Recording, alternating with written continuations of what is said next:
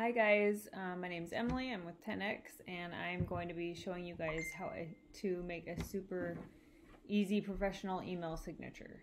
So this is going to be just a super quick video on how to make an, a professional email signature. So I did a bunch of research and I found that WiseStamp is the easiest for me to use. So here we are, we're at wisestamp.com and um, just so you know, I'm not affiliated with them at all. But I found that they make the process of making an email signature very easy and smooth compared to a bunch of others that I was checking out.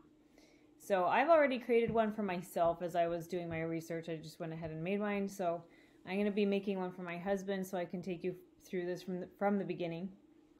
So I'm going to choose for individuals because I'm going to want to make this for free.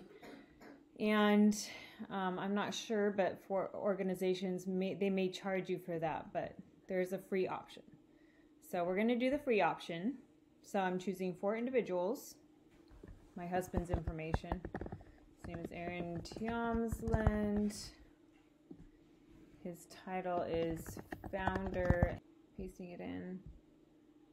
Um, make sure the whole number's there. Yeah. Okay. Now I'm going to upload an image. I'll just use that one.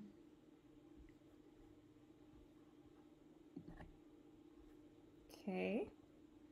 And I'm also going to add in our company logo.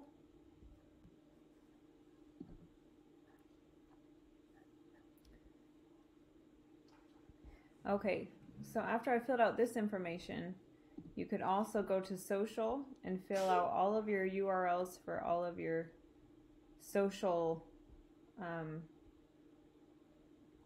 profiles. And then on the templates page, I really like this so that you can make it look good and see how that horizontal fits everything nicely and neatly here. So you can find something that works good for you. These two are free at the top. The other ones cost money. So whatever you want. So um, everything in design, I believe, will cost you money and it's pretty cheap. It's like five dollars so if it's worth it to you great but we're just doing a free one today. So I'm clicking that I'm done. Then I'll sign up with Google or yeah I'll sign up with Google. You when you do this but you do have to hit allow here and I'm going ahead I'm going to trust them. The settings button. Then see all settings. Okay, and then I'm going to go down and check, see if it fixed it. And it did. And so since we had the free version, they put their their um, call to action right here and we're just going to delete, go ahead and delete that because we don't need that on ours. Though we appreciate very much what they've done. So we go down, we just hit save changes.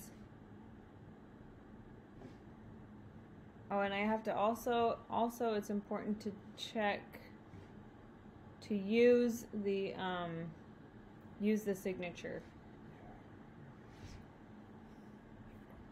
Which is right here, which is on. So, so that should work. Um, since it's as, it's the same as it was, I'm gonna try compose, and we'll see. Yep, it works. So just hit compose to check if it works.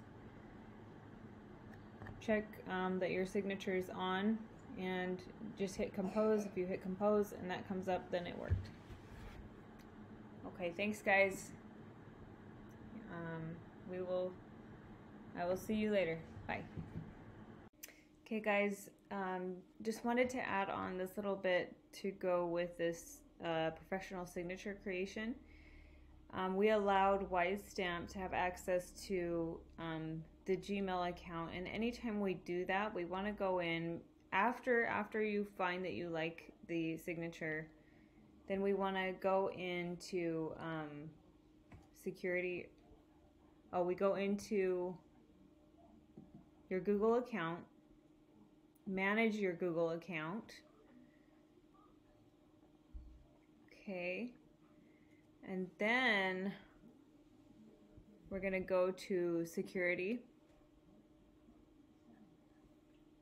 Okay, and then from security, we're going to go down and find third party apps with account access. And from here, you can see there's WiseStamp has access to Gmail. And we're just going to remove access. Click OK. And you should be good. Okay, that's it. Thanks, guys.